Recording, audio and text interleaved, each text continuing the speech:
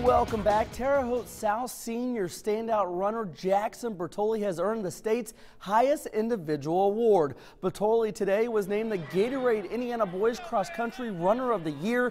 He's the first Terre Haute South cross country runner to earn this honor. Back in November, the IU recruit became the first Vigo County boys runner to ever win the IHSAA State Championship. Bertoli joins A.J. Reed and Caitlin Bishop as the only Terre Haute South athletes to ever win an Indiana Player of the Year award.